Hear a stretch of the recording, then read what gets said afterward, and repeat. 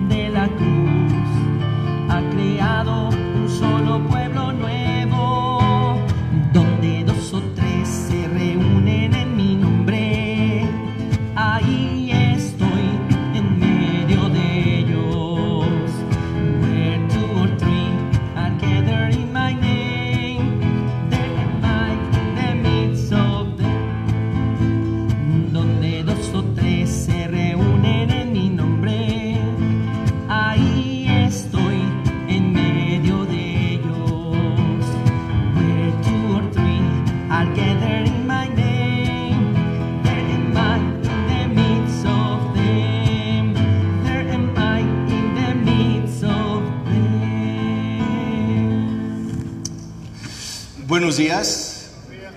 Bienvenidos a nuestra celebración eucarística. Está haciendo calor, ¿verdad? Está rico. Es bueno para sudar todas las toxinas que tenemos en el cuerpo. Pero hay que tomar agua. Pues vamos a empezar nuestra celebración en nombre del Padre y del Hijo y del Espíritu Santo. La gracia del Señor Jesucristo, el amor del Padre y la comunión del Espíritu Santo estén con todos ustedes. Hermanas y hermanos en Cristo, para celebrar estos sagrados misterios, reconozcamos nuestros pecados. Te alabamos, Señor, tú que borras nuestras faltas,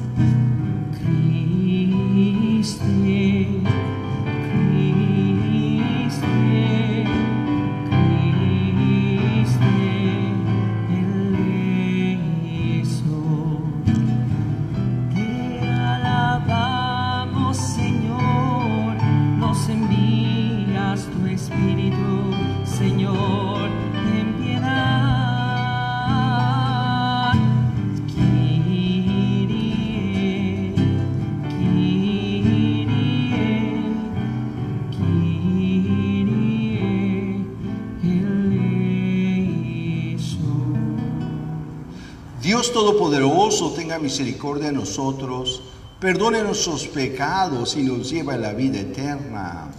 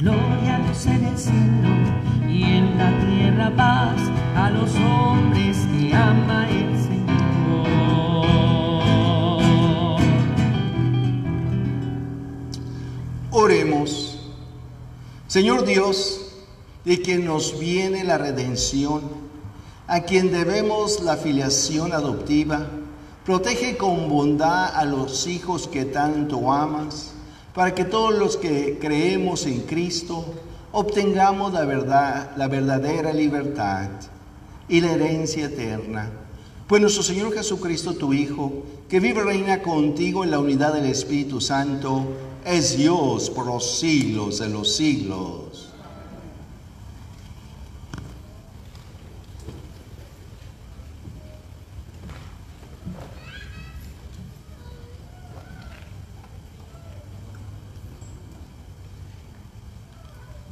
Lectura del libro del profeta Ezequiel.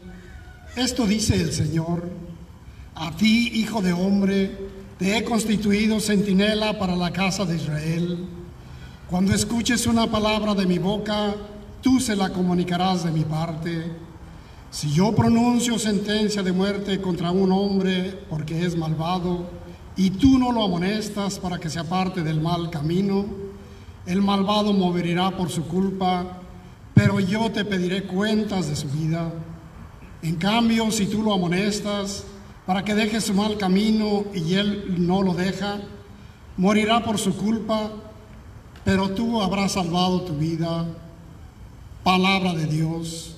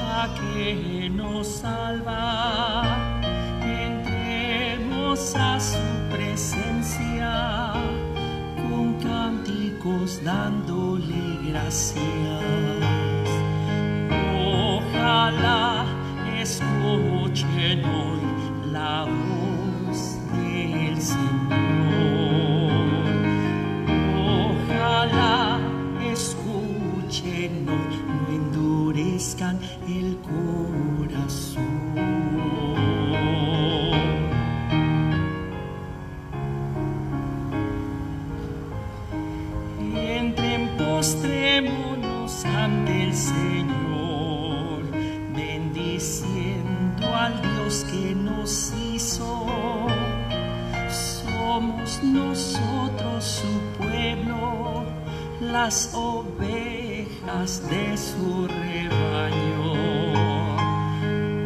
Ojalá escuchen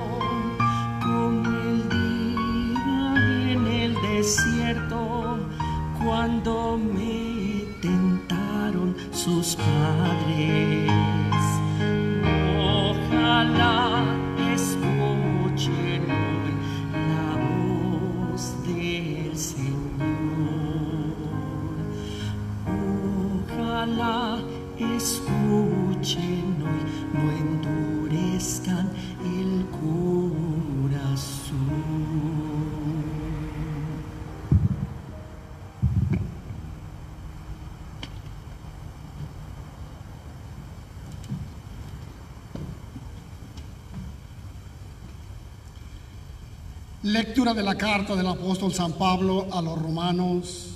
Hermanos, no tengan con nadie otra deuda que la del amor mutuo, porque el que ama al prójimo ha cumplido ya toda la ley.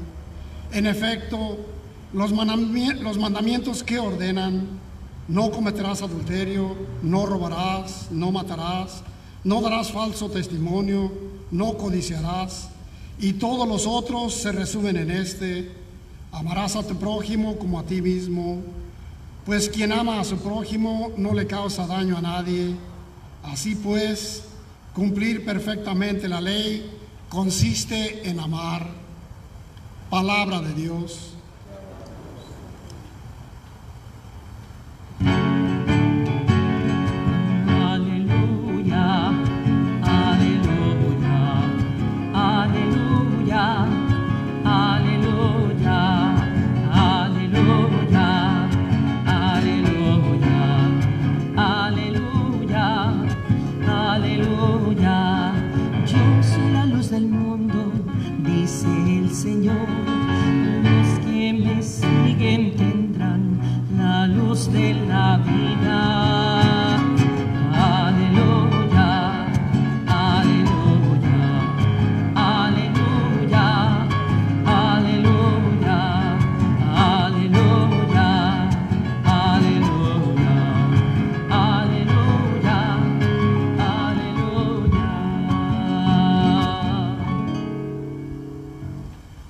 Señor esté con ustedes. Lectura del Santo Evangelio según San Mateo. En aquel tiempo Jesús dijo a sus discípulos, si tu hermano comete un pecado, ve y amonéstalo a solas. Si te escucha, habrás salvado a tu hermano.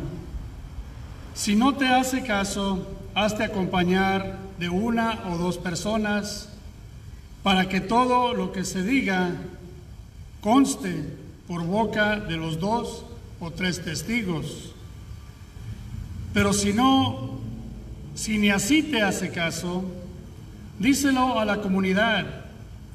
Y si ni a la comunidad le hace caso, apártate de él como de un pagano o un publicano. Yo les aseguro que todo lo que aten en la tierra quedará atado en el cielo, y todo lo que desaten en la tierra quedará desatado en el cielo. Yo les aseguro también que si dos de ustedes se ponen de acuerdo para pedir algo, sea lo que fuere, mi Padre Celestial se los concederá. Pues donde dos o tres se reúnen en mi nombre, Ahí estoy yo en medio de ellos. Palabra del Señor.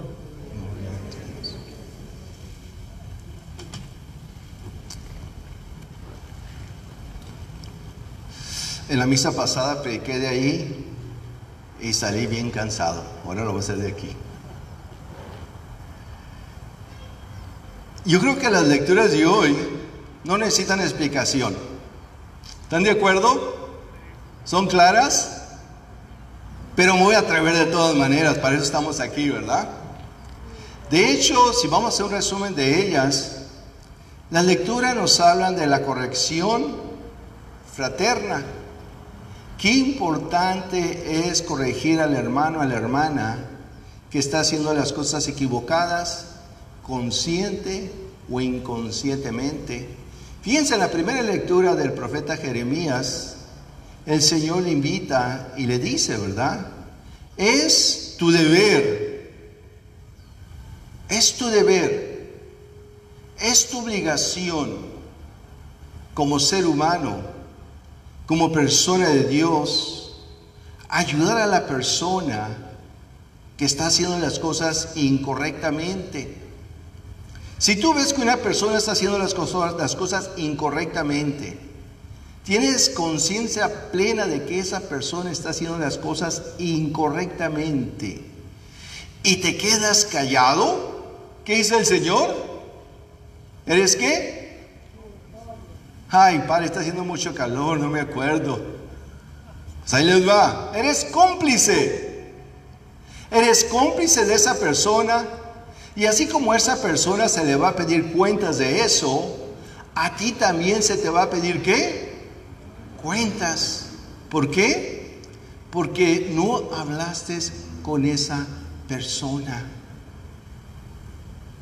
La corrección fraterna no se trata de regañar, no se trata de acusar, no se trata de insultar, no se trata de humillar, no se trata de desprestigiar a una persona sino todo, todo lo contrario, por amor, por caridad, por empatía a esa persona, le voy a tratar de ayudar, ayudarla para que vea tal vez lo que no puede ver.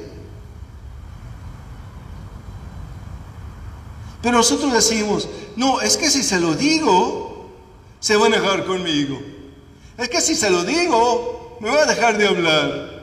Es que si se lo digo, me va a insultar. Es que si se lo digo, pues no sé cómo lo va a tomar.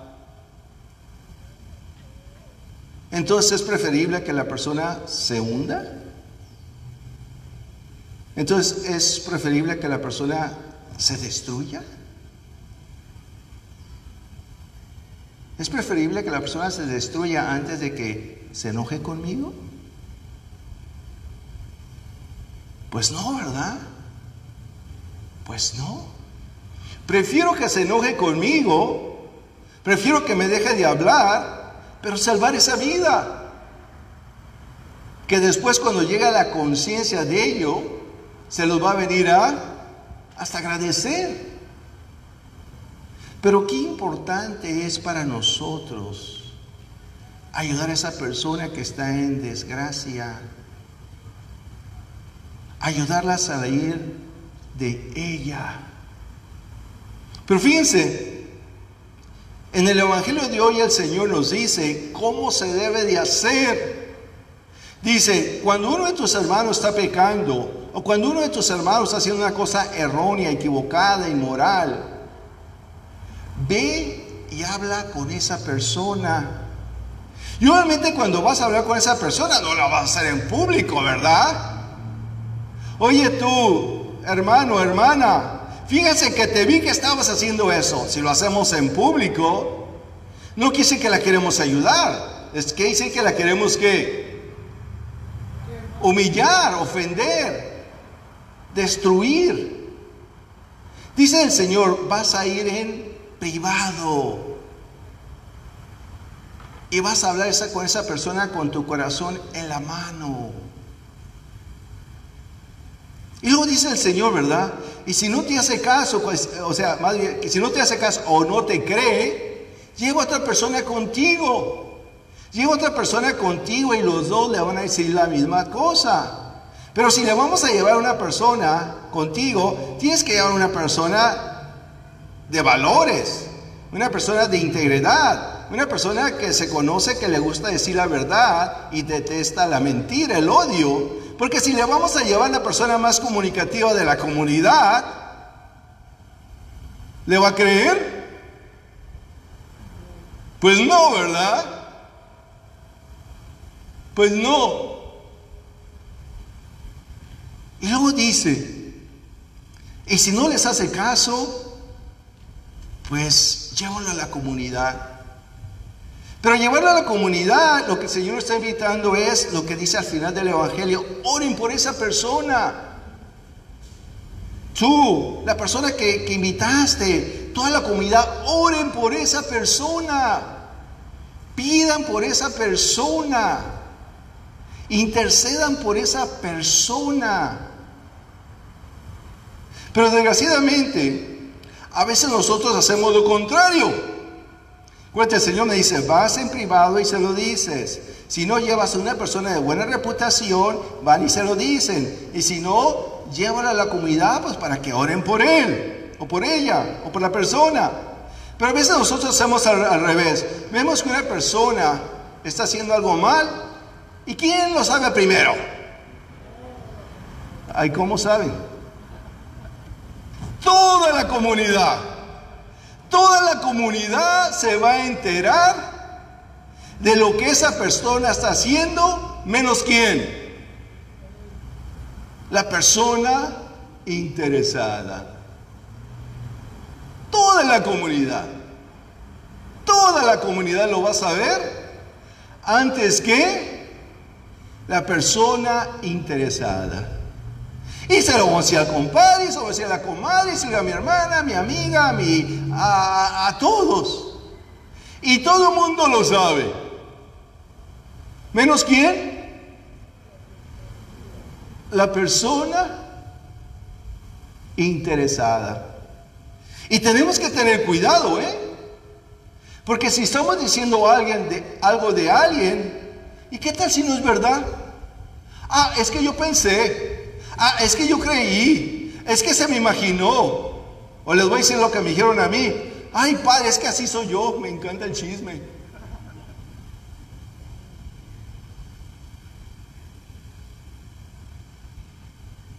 Y en vez de ayudar a esa persona,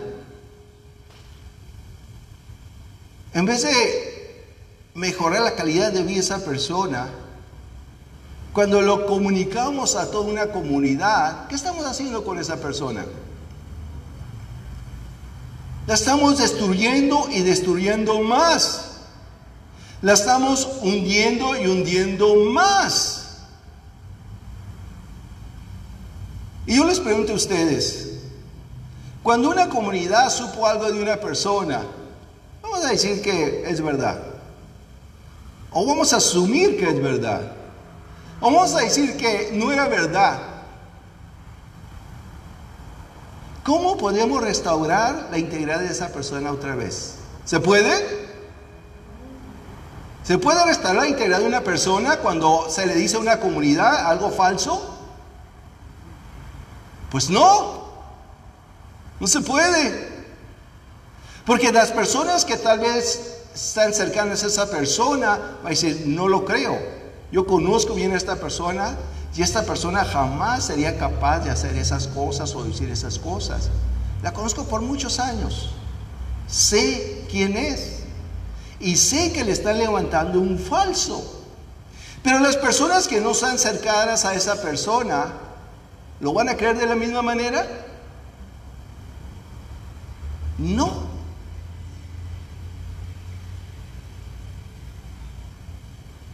Imagínense, ¿y cuántas personas ya lo saben? Dicen que el chisme es más rápido que la luz y el sonido. Entonces, ¿cuándo podemos restaurar la integridad de una persona? ¿Y eso le va a ayudar a esa persona a ser mejor? Pues no, ¿verdad? Dice el Señor, así no se hacen las cosas. Si realmente yo me preocupo por alguien, si realmente yo quiero ayudar a esa persona, voy con esa persona con el corazón en la mano y hablo con ella. Y si habla con esa persona en privado, no lo hicimos enfrente de nadie para ridiculizarlo, para lastimarlo, para ofenderlo. Pero todos tenemos la obligación de hacerlo. Porque si no, somos cómplices de esa persona, dice la palabra de Dios. ¿Y cuántas personas no han escuchado ustedes decir esto? Si me hubieras dicho esto cuando era un niño, si me hubieras aconsejado cuando era un niño, si me hubieras educado cuando era un niño, si me lo hubieras dicho desde un principio que eso no se valía, yo no estuviera aquí. O yo no estaría en esta situación. ¿Por qué no me lo dijiste? ¿Han escuchado eso? ¿Por qué no me lo dijiste? ¿Por qué me solapabas lo que yo hacía? ¿Por qué volteabas tu cara al otro lado cuando yo estaba haciendo algo que no era bueno? ¿Por qué no me lo dijiste? ¿Por qué no me lo enseñaste? Ay, es que me daba vergüenza. ¿Vergüenza qué? ¿Vergüenza qué? ¿Ayudar a una persona? ¿Mejorar la calidad de vida de una persona? Qué importante es para nosotros la comunicación. Qué importante es para nosotros el diálogo. ¿Cuántas veces yo no he escuchado que la mamá viene y dice, padre, ya no hay yo cómo, cómo, cómo hablar con mis hijos? Es que a veces no los educamos y no los aconsejamos. ¿Qué es lo que hacemos? Para lo que somos muy buenos. ¿Cómo se llama eso? Regañarlos. Acahuetearlos también, ¿verdad? Acahuatear, ¿saben qué es la palabra acahuatear, verdad? Dejarlo que hacer lo que quieran, como quieran, a la hora que quieran. Aunque sepan que está mal, no lo dicen para que no, se le, para que no le respondan. O sea, dejarlos que se hundan, otras palabras.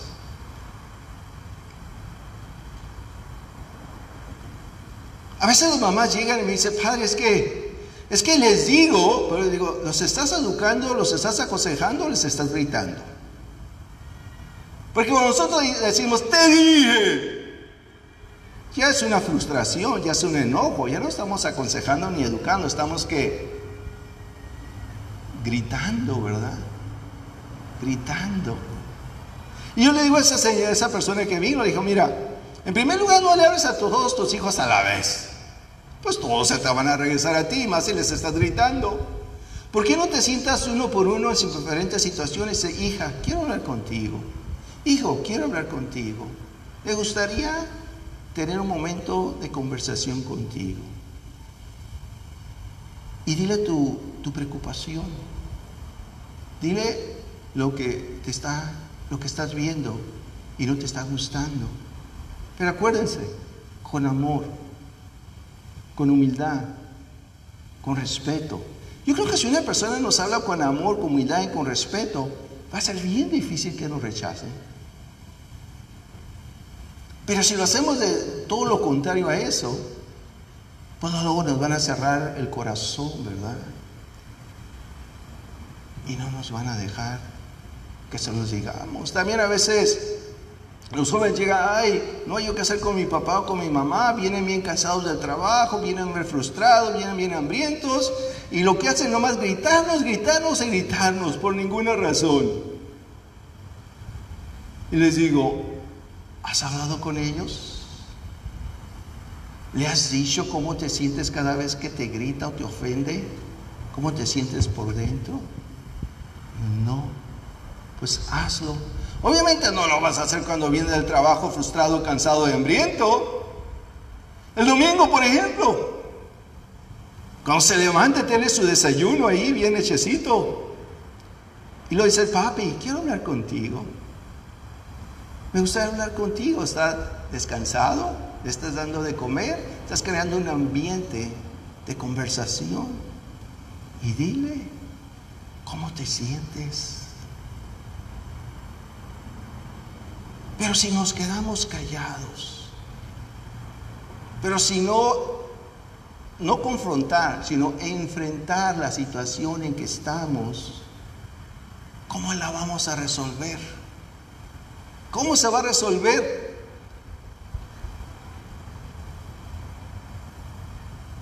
Me acuerdo que una vez una muchachita me dice, mi papi es bueno, pero yo pienso que está trabajando de más y se está frustrando de más porque el negocio que está haciendo no le está funcionando porque no está haciendo las cosas como se deberían de hacer, los principios de hacer un negocio.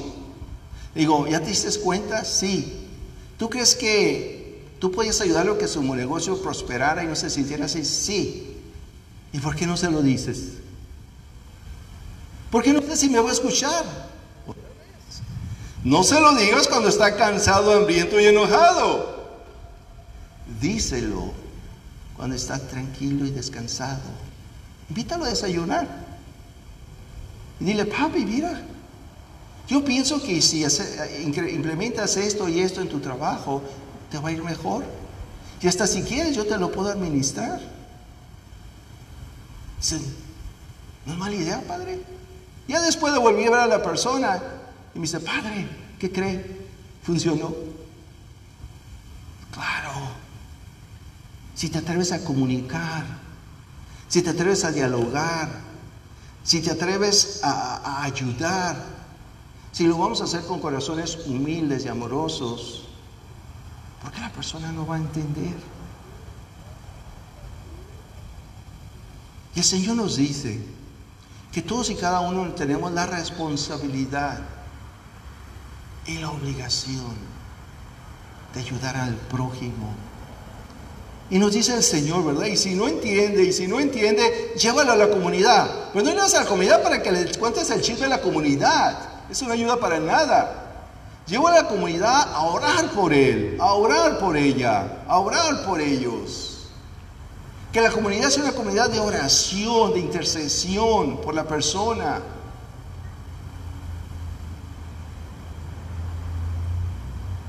Vamos a reflexionar en estas lecturas de hoy. Si estás en unas situaciones de, ese tipo, pide al Señor por su sabiduría, pide al Señor por su prudencia. Y hay que enfrentar las situaciones, hay que resolver las situaciones con amor, con prudencia y oración.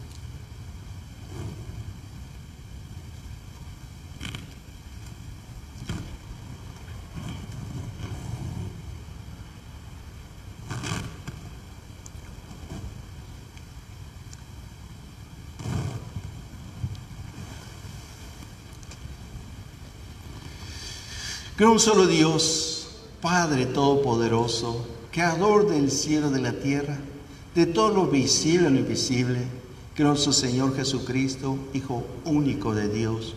Nació del Padre ante todos los siglos, Dios de Dios, luz de luz. Dios verdadero es Dios verdadero, engendrado, no criado.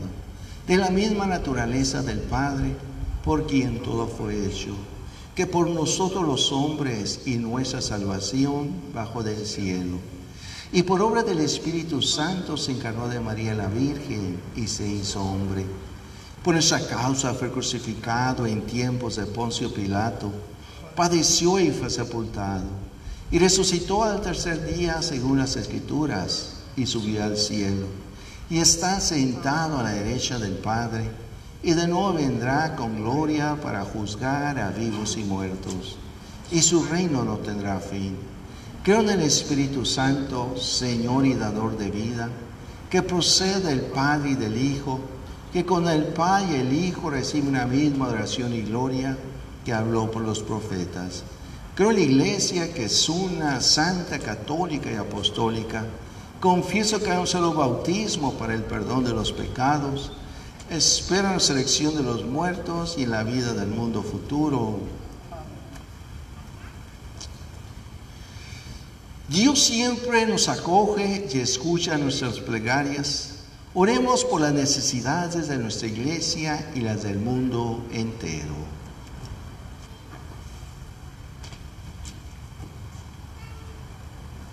Para que el Papa y los obispos y todos los líderes de la iglesia continúen buscando la sabiduría y la guía de Dios provee. Roguemos al Señor.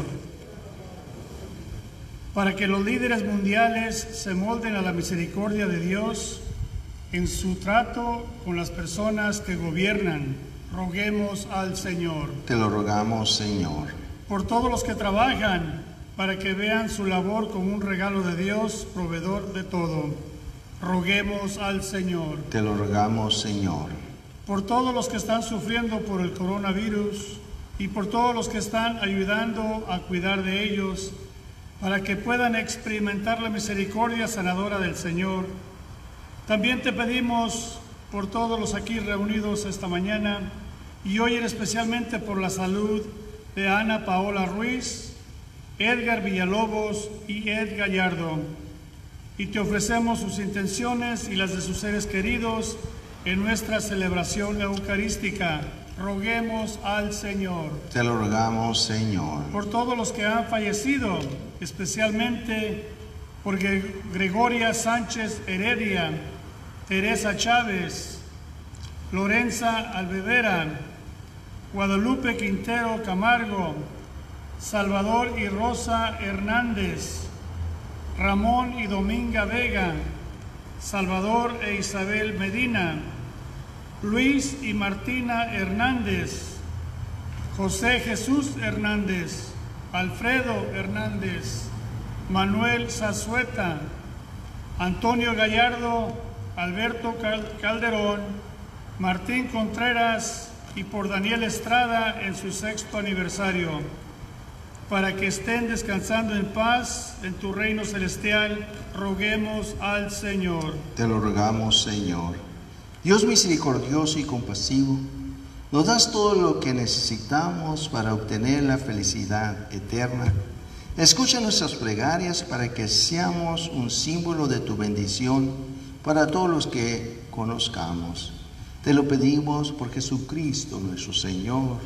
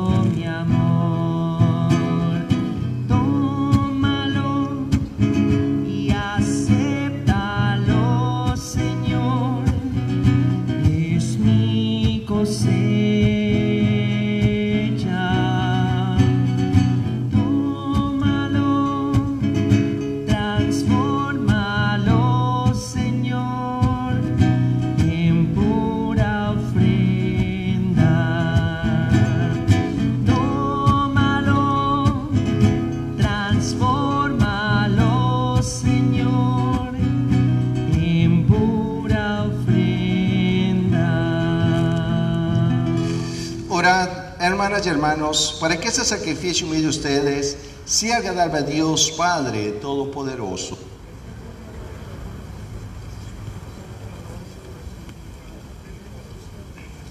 Señor Dios, fuente de toda devoción sincera y de paz, concédenos honrar con estos dones tu majestad de tal manera que al participar de estos santos misterios, todos quedemos unidos con el mismo sentir. Por Jesucristo nuestro Señor. El Señor esté con ustedes. Levantemos el corazón. Demos gracias al Señor nuestro Dios. En verdad es justo necesario. Es nuestro deber y siempre, en todo lugar, Señor Padre Santo. Dios Todopoderoso y eterno por Cristo, Señor nuestro. Porque nacido, restauró nuestra naturaleza caída. Padeciendo en la cruz, borró nuestros pecados resucitado de entre los muertos, nos proporcionó el acceso a la vida eterna y ascendiendo hasta ti, Padre, nos abrió las puertas del reino de los cielos. Por eso, unidos a la multitud de los ángeles y de los santos, te aclamamos llenos de alegría.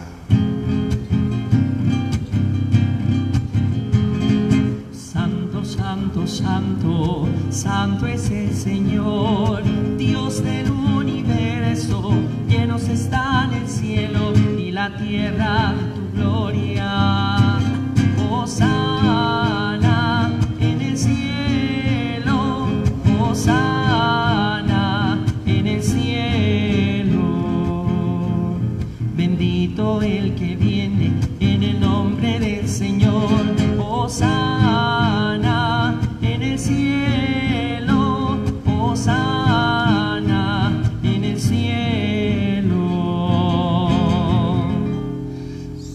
Eres en verdad, Señor, fuente de toda santidad. Por eso te pedimos que santifiques estos dones con la infusión de tu Espíritu, de manera que nosotros en el cuerpo y sangre de Jesucristo nuestro Señor, el cual cuando iba a ser entregado a su pasión voluntariamente aceptada, tomó pan. Dándote gracias, tío, lo dio a sus discípulos diciendo, tomen y coman todos de él, porque este es mi cuerpo que será entregado por ustedes.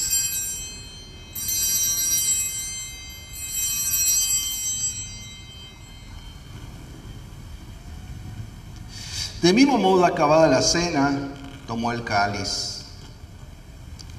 Y dándote gracias de nuevo, lo pasó a sus discípulos diciendo, tomen y beban todos de él, porque ese es el cáliz de mi sangre, sangre de la alianza nueva y eterna, que será derramada por ustedes y por muchos para el perdón de los pecados.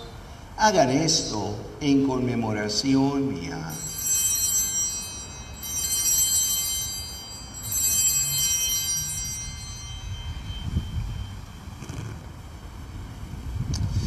Este es el sacramento.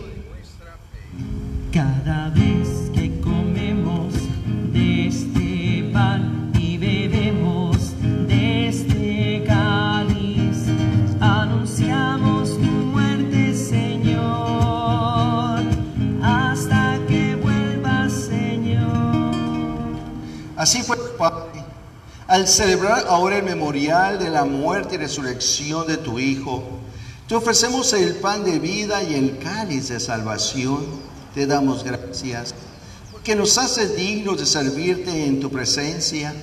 Te pedimos humildemente que el Espíritu Santo congregue en la unidad a cuantos participamos del cuerpo y sangre de Cristo.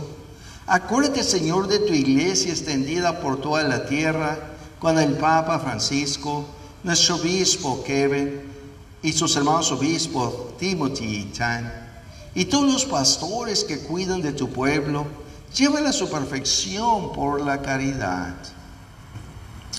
Acuérdate también de nuestros hermanos que se unió en la esperanza de la resurrección y con todos los que han muerto en tu misericordia, admítelos a contemplar la luz de tu rostro Ten misericordia de todos nosotros, así con María, la Virgen Madre de Dios, su esposo San José, los apóstoles, y cuantos vivieron en tu amistad a través de los tiempos.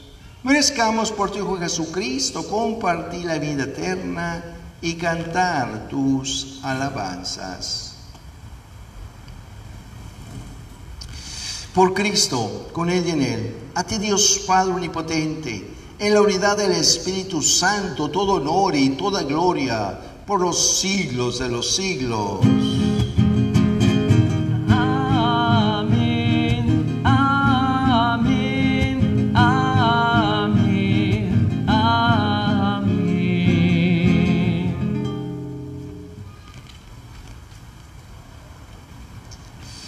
Fieles a la recomendación del Salvador y siguiendo su divina enseñanza, nos atrevemos a decir, Padre nuestro que estás en el cielo, santificado sea tu nombre, venga a nosotros tu reino, hágase tu voluntad en la tierra como en el cielo. Danos hoy nuestro pan de cada día, perdona nuestras ofensas, como también nosotros perdonamos a los que nos ofenden. No nos dejes caer en tentación y líbranos del mal. Líbranos de todos los males, Señor, y conceda la paz en nuestros días, para que ayudados por tu misericordia vivamos siempre libres de pecado y protegidos de toda perturbación, mientras esperamos la gloriosa venida de nuestro Salvador Jesucristo. Señor Jesucristo, que dijiste a tus apóstoles, la paz os dejo, mi paz os doy. No tengas en cuenta nuestros pecados, sino la fe de tu iglesia. Y conforme a tu palabra, concede la paz y la unidad. Tú que vives y reinas por los siglos de los siglos. La paz del Señor esté con todos ustedes. Dense fraternalmente la paz.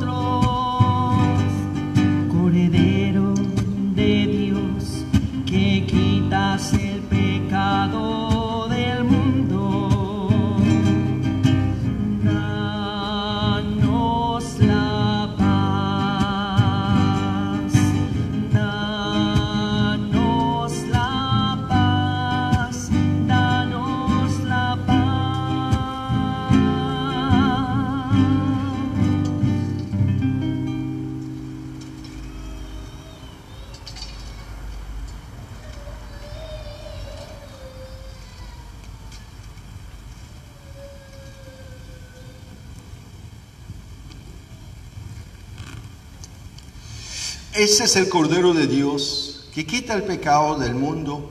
Dichosos los invitados a la cena del Señor. Señor, yo no soy digno de que entres a mi casa, pero una palabra tuya bastará para sanarme.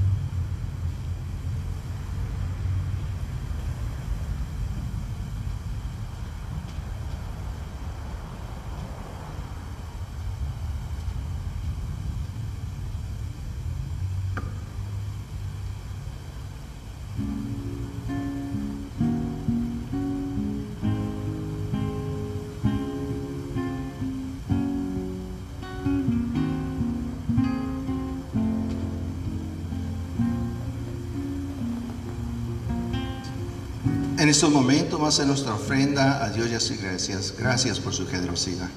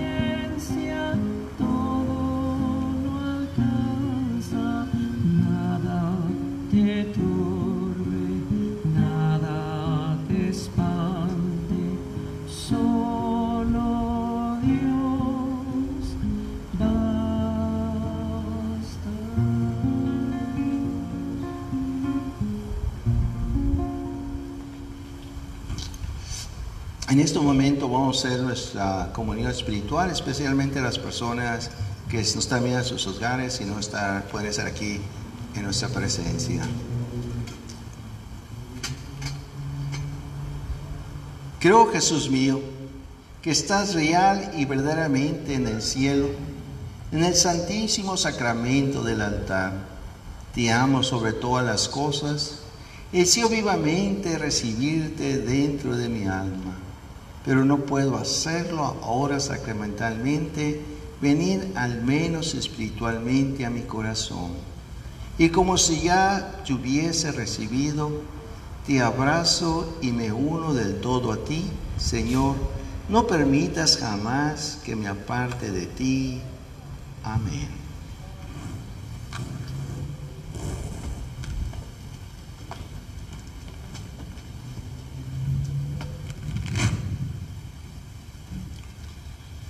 Anuncios para este fin de semana. Les recordamos recordamos que nuestra oficina parroquial está cerrada. Si ocupa comunicarse con nosotros, puede visitar nuestra página de internet, donde podrá dejar sus preguntas, ofrecer intenciones de misa, pedir certificados o pedir cartas. También podrá pedir citas para inscribir un bautismo, inscribir una presentación de niños de tres años o para comprar veladoras. Si no tiene acceso a una computadora, puede dejar una nota detallada en el buzón con su número de teléfono donde podemos comunicarnos con usted. Para más información y para ver los boletines electrónicos, puede visitar nuestra página de internet. Gracias por acompañarnos a misa hoy y esperamos verlos la próxima semana.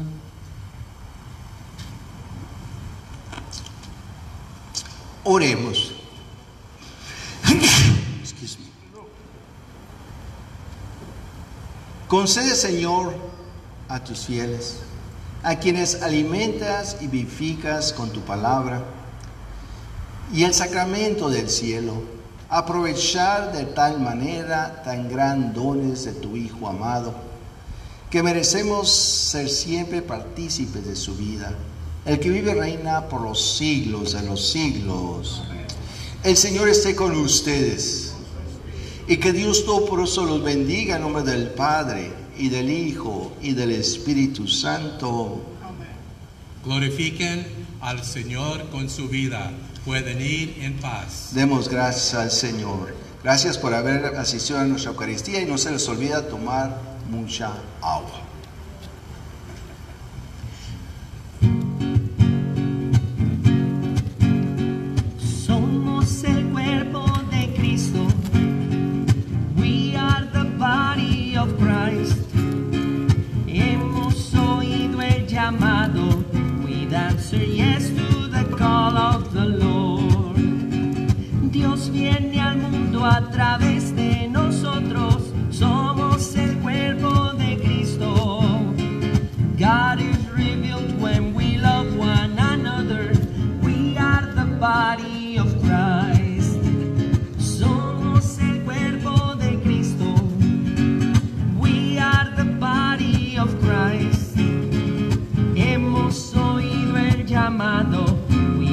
Answer yes